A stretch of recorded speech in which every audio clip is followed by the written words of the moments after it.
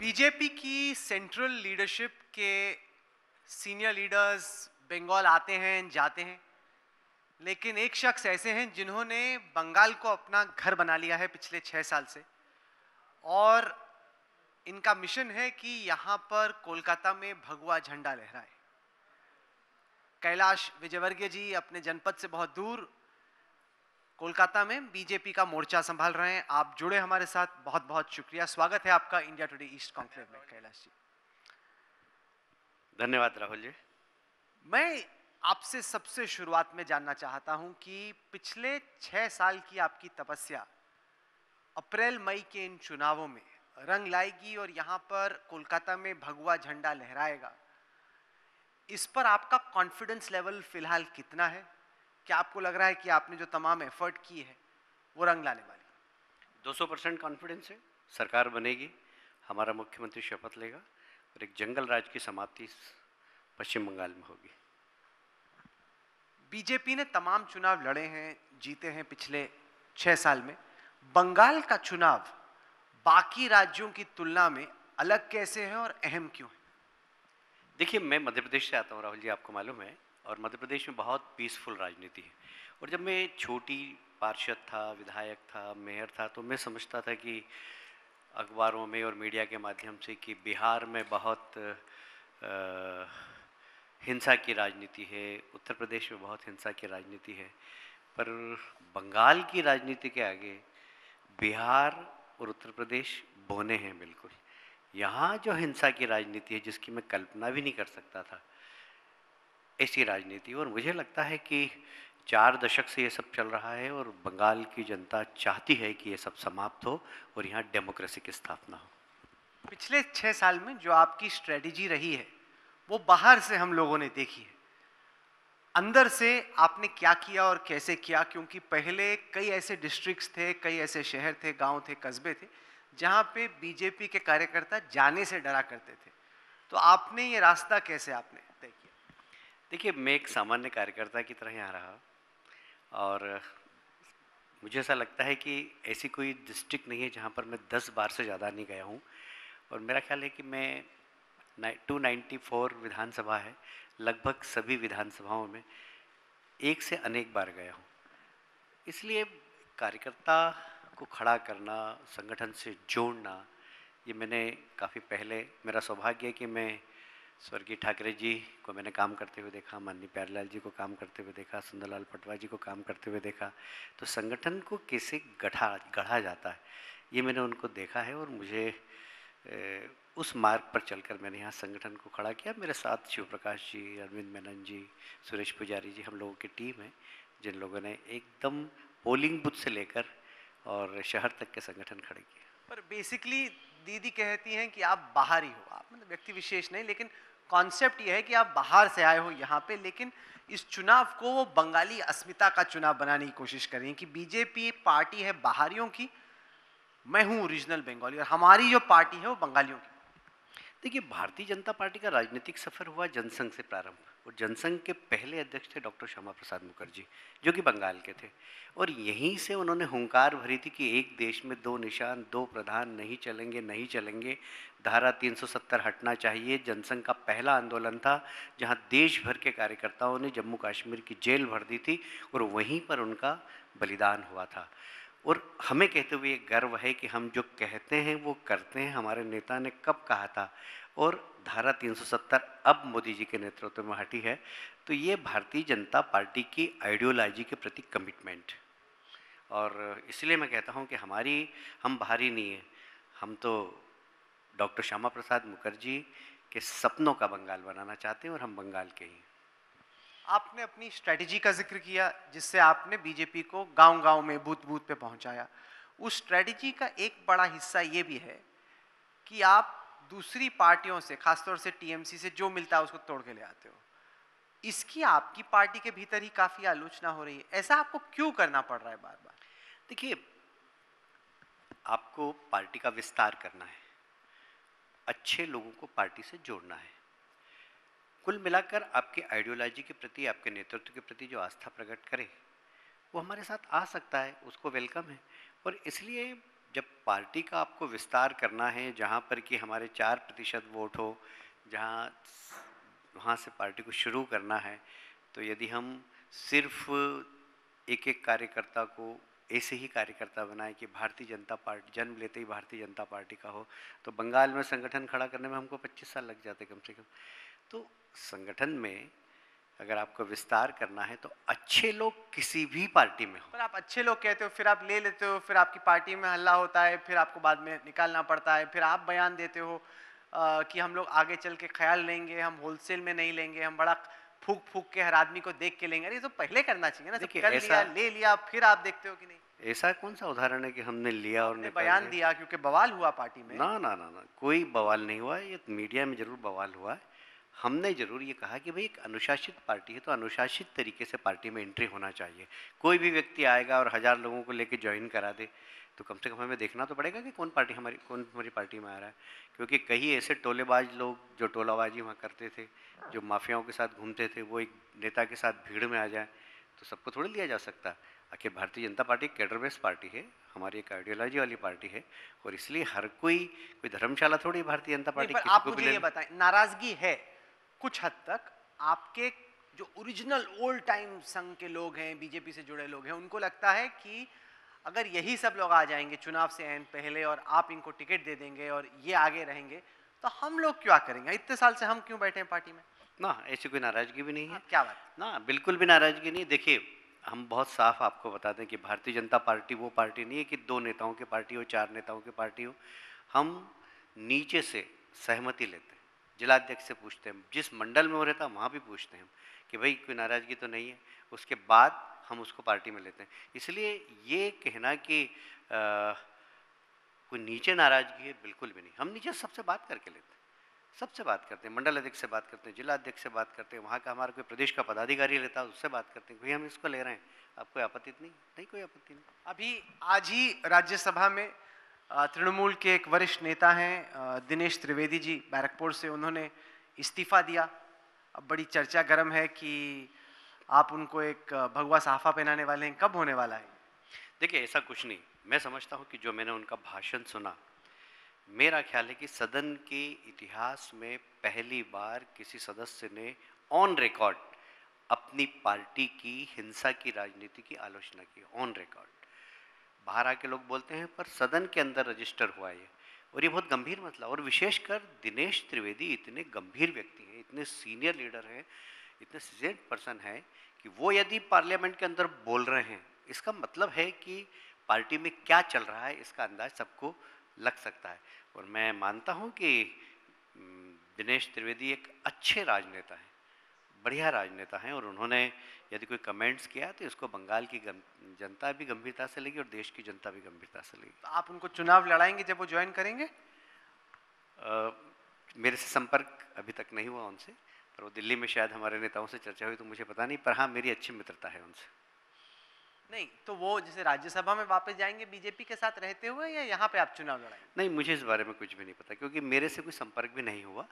वहीं पर दिल्ली में उनकी चर्चा हुई है बस ज्वाइन करने के वो उन्होंने इस्तीफा दिया इतना ही पता लगा मुझे। यदि ज्वाइन करेंगे पार्टी में तो मुझसे पूछेंगे मैं बता दूँ कि यहाँ जितने भी लोग बैठे हैं उनमें से कोई भी ये बात नहीं मानेगा कि जो आप कह रहे हैं वो सच है कि आपकी जानकारी में नहीं है कि वो कब कैसे क्यों ज्वाइन करेंगे आपकी पार्टी लेकिन ठीक है आप स्टेज पे बैठे हैं आप ये कह रहे हैं वो आपका हक है। आप ज़बरदस्ती लोगों को ये मनवाने के लिए अगर कह रहे हैं तो कोई बात नहीं बाकी मेरी बात पर सब विश्वास करते हैं। आप पूछ लीजिए किसी पर। आप हमें ये बताएँ कि जिस उम्मीद के साथ या जिस स्ट्रेटजी के साथ आप शुभेंदु अधिकारी जैसे नेता को अपनी पार्टी में लाए, क्या आपके हिसाब से जो आपकी एक्सपेक्टेशंस थी शुरुआत में, वो खरी उतरी ओवर एक्सीड हुई अंडर डिलीवरी रही, क्या रहा? देखिए, मैं इस बात को स्वीकार करता हूँ कि सुवेंदु और राजीव बनर्जी दो नेता जब नहीं थे हमारी पार्टी में तो हम टक्कर में थे। कि टीएमसी और हमारे बीच में टक्कर है। पर जैसे ही दोनों नेता है उसके बाद मोहर लग गई कि भारतीय जनता पार्टी की सरकार बन रही है और इसलिए हमारा जो अंदाज था, उससे ज़्यादा हमको सफलता मिली। एक परसेप्शन सारे प्रदेश में बन बन गया कि टीएमसी जस्सी बीजेपी अच्छे नहीं, पर यह भी तो हकीकत है कि शुभेंदु अधिकारी पे, मुकुल रॉय पे, आप ही की पार्टी के नेताओं ने नारदा स्टिंग ऑपरेशन के गंभीर आरोप लगाए। आपके नेता सिद्धार्थनाथ सिंह कहते थे, भाग मुकुल, भाग सीपीआई आती है। फिर एकाएक वही आ जाते हैं आपकी पार्टी में और आप फिर ट्विटर में ढूंढते रहते हो कि कहाँ पे डिलीट करो डिलीट करो, पुराना डिलीट करो। देखिए, मैं फिर एक बात कहता हूँ कि इस देश के अंदर सतहत्तर की बात, एक गठबंधन की राजनीति का दौर प्रारंभ हुआ है। और उसमें निश्चित रूप से पहले इतना दूसरे दलों में सम्मिलित होना इतना होता नहीं था, पर सतहत्तर के बाद से एक प्रारंभ हुआ है। और मैं समझता हूँ इसमें यदि कोई एक प्रमाणिक नेता किसी पार्टी का अपने दल में आता है और ऐसा लगता है कि वो हमारे नेतृत्व पर विश्वास करता है, हमारी विचारधारा में विश्वास करता है तो उसका स्वागत होता है। पर उस वक्त वो विपक्ष में थे, यदि उन्होंने ऐसे कुछ काम किए हैं तो उसके खिलाफ बोलना ये हमारा दायित्व है। पर यदि वो दोषी होंगे तो उसको उसकी सजा मिलेगी हम जहाँ आप बैठे कल वहाँ पे पश्चिम बंगाल की मुख्यमंत्री ममता बनर्जी बैठी थी और ममता बनर्जी जी का कहना था कि बीजेपी की एक बड़ी वॉशिंग मशीन चलती है कि दाग वाले लोग जितने भी हैं उनको डालो और सफ़ेद एकदम कपड़ा पहन के वो निकल जाते हैं कि ये बीजेपी की एक इलेक्टोरल वॉशिंग मशीन देखिए ये तो मैं ममता जी के लिए कहता हूँ मैं भी कहता हूँ उनके लिए कि छत्रधर महतो सबसे बड़े नक्सल में नक्सल नेता थे। उन्होंने हत्याएँ खूब सारी की, वो जेल में थे, उनसे जेल से जमानत कराकर पार्टी का पदाधिकारी बनाया। उन्होंने ही, उनकी सरकार ने ही नहीं विलम गुरुम के, विमल गुरुम के ऊपर जो गोरखाओं के नेता डेढ़ सौ केस लगाए, राष्ट्रद्रोह का केस लगाया, हत्या का केस लगाया, अब वो ममता जी के साथ बैठ रहे हैं। जबकि केस अभी भी हैं उनके पास। तो बड़ी वॉशिंग मशीन कौन सी है? दूसरों पे आरोप लगाने के पहले अपने गिरबान में झांकना चाहिए ममता जी को। नहीं, पर बीजेपी ने हमेशा कहा कि we are a party with a difference अब दूसरे ने क्या गलत किया, उसका हवाला दे रहे हैं आप ये समझाने के लिए कि आपने क्या किया? मैंने इसलिए कहा कि उन्होंने हम पे आरोप लगाया, इसलिए मैंने कहा। मैं तो पहले ही स्वीकार कर चुका हूँ कि यदि कोई व्यक्ति हमारी आइडियोलॉजी से प्रभावित होकर आता है हमारे यहाँ तो ऐसा थोड़ी कि उसने जो गलत काम किया हम उसको संरक्षण दे रहे हैं। जाँच एजेंसी जाँच कर रही है, और जब भी ज़रूरत पड़ती अभी पिछले दिनों ही सीबीआई ने मुकुलदा को बुलाया था। यदि ऐसा लगा कि उन्होंने गलत किया तो सीबीआई उनके खिलाफ कार्रवाई करेगी। हमने तो नहीं रोका। क्या बीजेपी इस चुनाव में राम भरोसे? एक तरीके से जैसे जय श्री राम के नारे पर विवाद खड़ा हुआ। आप लोगों ने ज़ोर शोर से नारा दिया। आपका आरोप है कि ममता बनर्जी नारे से भाग रही हैं डर रही हैं। उनका कहना है कि ऐसा नहीं हम तो जय सिया राम कहते हैं। इतना इलेक्शन जीतने के लिए भगवान का नाम क्यों लेना पड़ा? देखिए भगवान का नाम हमने नहीं लिया। आपके और हमारे लेने से नारा कभी भी नहीं बनता। एक बात ध्यान में रखिएगा। टीएमसी थ्री टी के आधार पर काम कर रही है। एक तानाशाही, टोलाबाजी और तुष्टिकरण। ये तीन से पूरी पश्चिम बंगाल की जनता फेड अप है। त्रस्त हो गई है एकदम। और उनको ऐसा लगता है कि अब अब बहुत हो गया। मुझे लगता है कोई भी नारा है ना एक संदेश देता है। बंगाल में कोई जय श्री राम बोलेगा, मैं तो सोच भी नहीं सकता था। पर बंगाल में जय श्री राम एक तरीके से जैसे वंदे मातरम था कि नहीं, अंग्रेज़, भारत छोड़ो। जैसे बंगाल के अंदर हो गया, जय श्री राम, ममता जी, बंगाल छोड़ो। ये नारा जनता के बीच में हो गया। और इसलिए ये नारा सामान्य नारा नहीं है। इस नारे का इतिहास के शब्दों में, इस नारे को बंगाल में, स्वर्णिम अक्षों में लिखा जाएगा कि परिवर्तन के लिए इस नारे ने जनता के बीच में से आवाज़ लाकर एक परिवर्तन करके दिखाया। पर जैसे ममता दी ने कहा कि हमारे यहाँ तो जय सिया राम है। आ, हम लोग दुर्गा माँ की पूजा करते हैं हम लोग जय हिंद कहते हैं हम लोग वंदे मातरम कहते हैं हम लोग जय श्री राम का कोई बंगाल में कल्चर इतिहास नहीं रहा और यही बात मैं कहती हूँ कि बीजेपी बाहरियों की पार्टी। नहीं अल्प ज्ञान ऐसा ही होता है जैसा कि ममता जी ने कहा। जय सियाराम श्री सिया का ही पर्यायवाची। सिया, सीता का ही पर्यायवाची तो जय सियाराम और जय श्री राम का अंतर थोड़ी है? पता नहीं वो इस बात को क्यों नहीं समझ पाती? एक जो बड़ा सवाल आपके सामने रहेगा, अगर अप्रैल, मई में बीजेपी की पश्चिम बंगाल में सरकार बनती है, वो ये कि आपकी पार्टी का चीफ मिनिस्टर फेस कौन होगा? कल अमित शाह जी थे जहाँ पे आप बैठे उन्होंने आपको तो आउट कर दिया। और आपका तो मध्य प्रदेश जाने में इंटरेस्ट होगा अगर होगा भी तो यहाँ तो इंटरेस्ट नहीं है। प्रश्न ही रोहित ने क्यों पूछा मुझे समझ में नहीं आया। नहीं मैं, मैं तो यहाँ पर मुख्यमंत्री का दावेदार भी नहीं था। तो मैं इसलिए मैंने बोला कि आपका जो दावेदारी है वो तो मध्य प्रदेश की है यहाँ की नहीं है। वो अलग एक किस्सा है उसको बाद में कभी पूछूँगा। लेकिन यहाँ पे आपके हिसाब से अगर मैं कहूँ कि तमाम जो कैंडिडेट्स हैं उनका स्वॉट एनालिसिस कीजिए। स्ट्रेंथ्स वीकनेसेस अपॉर्चुनिटीज़ थ्रेट ऐसा सोच बन रही है कि अगर पूर्ण बहुमत आता है तो आपका कैंडिडेट एक ओल्ड टाइमर आरएसएस लॉयलिस्ट होगा। अगर हंग आता है तो आपको यहाँ वहाँ से तोड़ना पड़ सकता है। तो फिर कोई जो शायद नया चेहरा आया है, उसको आप लोग ले सकते हैं। आप इस सवाल को कैसे दें देखिए, दो बातें इसमें। पहला तो ये कि अब हम, हमारा सिर्फ़ चिड़िया की आँख की तरह, जैसे अर्जुन ने देखा था कि सरकार बनाना, सरकार बनाने की तरफ़ ध्यान है, मुख्यमंत्री बनाने की तरफ़ ध्यान नहीं है। पहली बात। दूसरी बात भारतीय जनता पार्टी जहाँ पर हमारी सरकार नहीं रहती, वहाँ हम कभी भी सामान्यतः नेता घोषित नहीं करते। आप हरियाणा का उदाहरण देख लें, उत्तर प्रदेश का उदाहरण देख लें, महाराष्ट्र का उदाहरण देख लें, वहाँ हम नेता घोषित नहीं करते। सरकार बन जाती है, फिर डेमोक्रेसी हमारे यहाँ विधायक दल का बैठक होती है, उसमें विधायक दल अपना नेता चुनता है और मुख्यमंत्री बनता तो इसलिए हमारे पास मटेरियल बहुत है, कोई भी बन सकता है, पर ये विधायक दल तय करेगा। आपने सवाल का जवाब ही नहीं दिया। मैंने बोला स्वॉट एनालिसिस क्या रहेगा? कि अगर पूर्ण बहुमत की सरकार आती है तब अलग टाइप का कैंडिडेट हंग असेंबली आती है तो अलग टाइप का कैंडिडेट मैं फिर कह रहा हूँ कि ये सब परिणाम आने के बाद, ये आपका काल्पनिक प्रश्न है। हंग आई तो फिर हम विचार करेंगे उस वक्त। अभी तो हम दो तिहाई बहुमत की बात कर रहे हैं। दो तिहाई से नीचे की हम सोचते ही नहीं। ये जो सीपीआईएम कांग्रेस का अलायंस है, शायद आईएसएफ भी उससे जुड़ सकता है। आपके हिसाब से ये किस, आप इसको कैसे देखते हैं? और ये आपका वोट तोड़ते हैं या टीएमसी का वोट तोड़ते देखिए, हमने जो हमारा राजनीतिक रणनीति है हमारी, वो 50 percent, fifty one percent vote की है। हमें 51 परसेंट वोट लाना है। 49 में टीएमसी किससे गठबंधन करती है? कांग्रेस किससे गठबंधन करती है? सीपीएम किससे गठबंधन करते हैं? ओएसी किससे गठबंधन करते हैं? हमें उससे कोई लेना देना नहीं। हम 51 परसेंट वोट लाकर दो तिहाई बहुमत से सरकार बनाएँगे। ये हमारी रणनीति का हिस्सा है और हमारी दृढ़ इच्छा शक्ति भी है। अगर आपको पूर्ण बहुमत से सरकार बनानी है तो दक्षिण पश्चिम बंगाल में 2019 के चुनाव की तुलना में बेहतर करना आपके लिए बहुत अहम है। आपने कई कदम भी उठाए हैं, फोकस भी रहा है। आपके हिसाब से कितना कामयाब आप हुए? क्योंकि अगर 2019 का चुनाव देखते हैं तो नॉर्थ बंगाल से जो चुनाव स्टार्ट होता है, उसका रिज़ल्ट एक तरह का रहता है, भगवा भगवा भगवा, और यहाँ पे आके पूरा नीला। तो इसको कितना रिवर्स कर पाएँगे और कितना आप कामयाब हुए हैं अब तक की अपनी स्ट्रैटेजी बहुत कामयाबी मिली हमें, और यहाँ पर भी हम आश्चर्यजनक परिणाम देंगे। जैसे कि पिछले लोकसभा में हमने पश्चिम बंगाल में आश्चर्यजनक परिणाम दिए थे।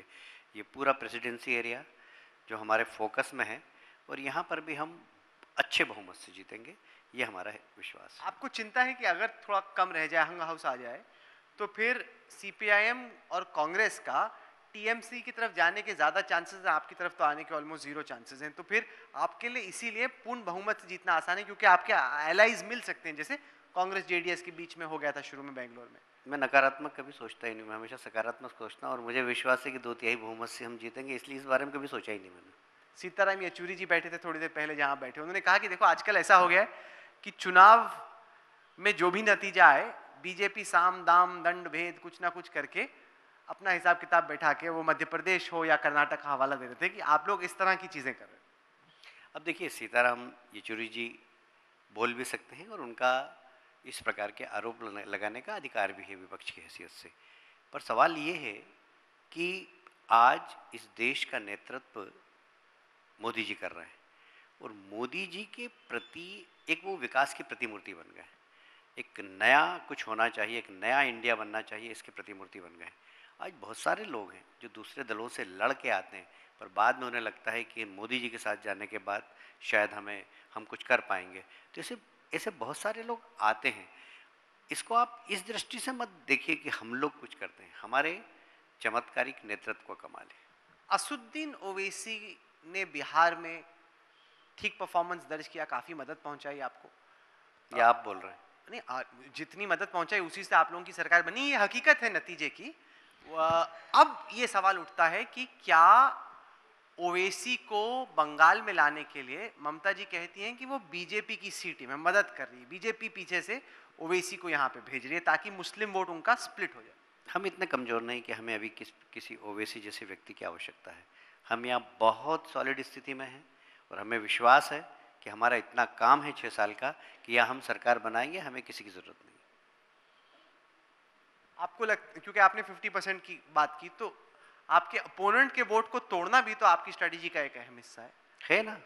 वो तोड़ के तो 51 परसेंट बने हम। और हम उसमें चार परसेंट चालू हुए सत्रह परसेंट पे आए फिर चालीस परसेंट पे आए अब हमें कितने? चार परसेंट तो तो उसमें आपकी फुरफुरा शरीफ की जो पार्टी एक लॉन्च हुई है अब्बास सिद्दीकी की इंडियन सेक्युलर फ्रंट करके। उसका रोल आप क्या देखते हैं? आपको लगता है अच्छा है जितना इनका वोट टूटे अच्छा है? नहीं हम तो सबको शुभकामनाएँ देते हैं। हम तोड़ने की बातें नहीं करते हम जोड़ने की बात करते हैं। हम तो चाहते हैं कि अच्छा है ममता जी उनसे भी हाथ मिला ले ओवैसी से भी हाथ मिला ले सबसे हाथ मिला ले उसके बाद लड़ ले उसके बाद भी हम जीतेंगे। पिछले करीब 25 मिनट में हमने आपका एक बड़ा सीरियस स्वरूप देखा। मेरे को किसी ने एक व्हाट्सएप पे वीडियो फॉरवर्ड किया। आप अपनी पार्टी के किसी कम्युनिटी के अ, यहाँ पर शादी पे गए थे। वहाँ पे आप मोहम्मद रफ़ी किशोर कुमार के गाने गाने तो मैंने किसी से पूछा हमारे रिपोर्टर से उसने कहा कि बड़ा अच्छा गाते हैं कैलाश जी। तो मैंने बोला अरे ऐसा लगता तो नहीं आप तो बड़े सीरियस टाइप के नेता लगते हो। ये आप जाके गाना भी गाते हो शादी में ऐसा तो मैंने सोचा ही नहीं था। दरअसल क्या है कि मैं कोई प्रोफेशनल सिंगर नहीं हूँ। हाँ, पर मैंने सुना है गाते बहुत उन्होंने कभी नहीं नहीं मेरी बात तो सुनिए। मैं प्रोफेशनल सिंगर हूँ नहीं। पर कभी कभी कुछ सीन देखकर एकदम गाना याद आ जाता है। तो ये सीन देख के आपको कौन सा गाना याद? नहीं मेरे सामने तो आप देखे बैठे हैं आपका सीन देख के मुझे कोई गाना याद नहीं आ आप ऑडियंस ऑडियंस को देखिए आप ऑडियंस को देखिए उनको देख के अच्छा आप अब अगर ये कहें कि आपने जैसे अब आप किसी कम्युनिटी लीडर की शादी में आ गए हो अब आपने हमें कोई गाना सुनाना हम लोगों ने फरमाइश किया आपकी पार्टी वर्कर्स आए आपके पास उन्होंने कहा कि कैलाश जी आपकी पार्टी के कई लोग बैठे हैं आप लोग सुनना चाहेंगे कैलाश जी का गाना? पक्का? आप अच्छे से फरमाइश करेंगे तभी। देखो अगर वो पंप अप नहीं होंगे वो कह रहे हैं ये सीन देख के उनको कोई फीलिंग नहीं आ रही अगर आप अच्छे से उनको पंप अप करेंगे तभी अ, आपने सुना है कि अच्छा गाते हैं? हाँ? पर मैंने कभी लाइव नहीं सुना इनको। थोड़ा सा आप सब अब तो सब जान गाना चाहना है। कितने लोग सुनना चाहते हैं इनका गाना? ये देखिए। बताइए।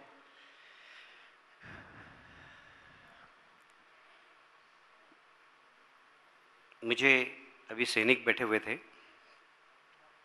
बांग्लादेश के। बांग्लादेश के युद्ध के पचास वर्ष हुए हैं। तो उन सैनिकों को प्रति अपनी श्रद्धा अर्पित करते हुए दो लाइन सुना देता हूँ।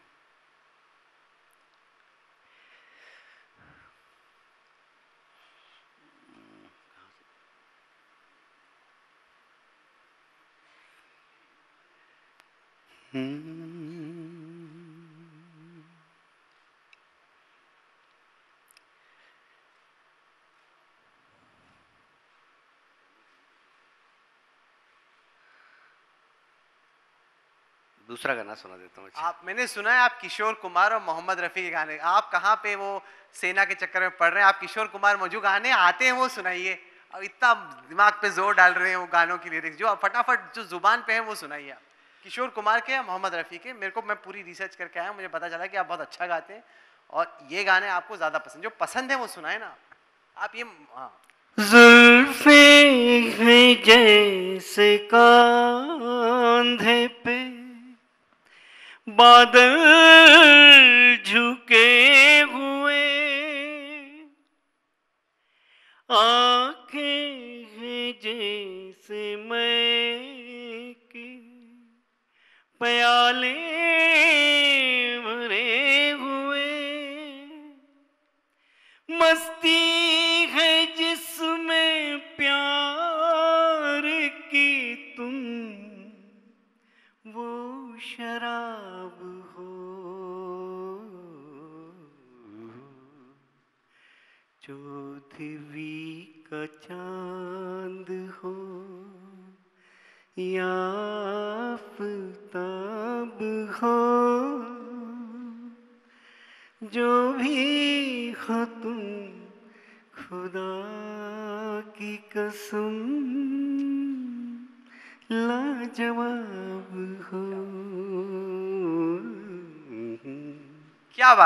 जोरदार तालियाँ। अच्छा जब मुझे बोला कि गाते हैं तो मुझे लगा हाँ गाते इतना अच्छा गाते ये नहीं बताया था किसी ने। आपने तो एकदम समा बांधी। एक फरमाइश और वन मोर सो इतना अच्छा ये तो आप एकदम आपने कभी ऐसा सुना कि सोचा कि मैं एक दूसरा ऑल्टरनेट करियर भी हो सकता है बीजेपी को बंगाल में जिताने के अलावा आप कॉन्सर्ट वगैरह भी कर सकते हो ऐसे? मतलब राजनीति में फेल हो जाऊँ वहाँ पे सब सोच रहे हो तो कम अपना नहीं, ड्रम, मैं एक ड्रम पार्टी खोल दूँ ऐसा? मैं एक आप career मेरे पे- कितने अच्छे दोस्त हो यार। मैं तो ऑल्टरनेट करियर से ए सर एक गाना और आपको गाना पड़ेगा। इतना खूबसूरत आपका आप लोगों को अच्छा लगा इनका गाना? Would you like to hear one more one more one more sir जो पॉपुलर सॉन्ग हो वैसे ही आप कीजिएगा जो आपकी एकदम जुबा पे हो। मेरे को नए नए गाने याद जो, नहीं। जो आपके नहीं जो आपको किशोर कुमार मोहम्मद रफी जो आपको पसंद है। तुम्हें कोई और देखे तो जलता है दिल। बड़ी मुश्किलों से फिर संभलता है दिल। क्या क्या जतन करते हैं तुम्हें, क्या पता? ये दिल बेकरार कितना, ये हम नहीं जानते। मगर जी नहीं सकते, तुम्हारे बिना। हमें तुमसे प्यार कितना, ये हम नहीं जानते। मगर जी नहीं सकते। तुम्हारे बिना। क्या बात है। आप तो एकदम प्रोफेशनल सिंगर की तरह गाते हैं। और अगली दफ़ा उषा उत्तप जी को या पापौन को बुलाने की जगह आपने तो समा बाँध दिया। ये तो आपका एक हिडन टैलेंट था मतलब चुनाव लड़ाने, जिताने के अलावा। ये तो आप एकदम कॉन्सर्ट कर सकते हैं। कॉन्सर्ट लाइक क्वालिटी वॉइस है कि नहीं? Amazing fantastic thank you so much Kailash Vijayvargiya ji आप आए जुड़े और आपने चुनाव की अपनी स्ट्रैटेजी भी बताई और ये गाने भी गुनगुना के सुनाए। एक दिन जब हम राजनीति की बात नहीं करेंगे मुझे लगता है कि तसल्ली से आप और हम बैठेंगे और आपको हम इसी तरह से एक्शन में देखेंगे तो मज़ा आ गया। Thank you so much Kailash ji thank you thank you Rahul ji thank you all the best thank you very much thank you